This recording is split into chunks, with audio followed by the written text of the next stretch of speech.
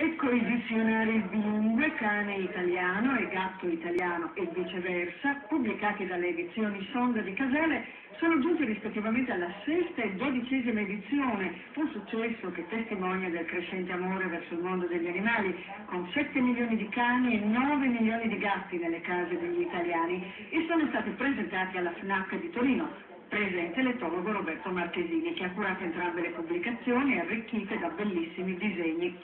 Non si tratta, va da sé, di tradurre banalmente miau, bau e grrr, bensì di intuire attraverso i loro comportamenti se i nostri amici stanno bene o male, sono arrabbiati o a disagio, hanno problemi o possono diventare pericolosi.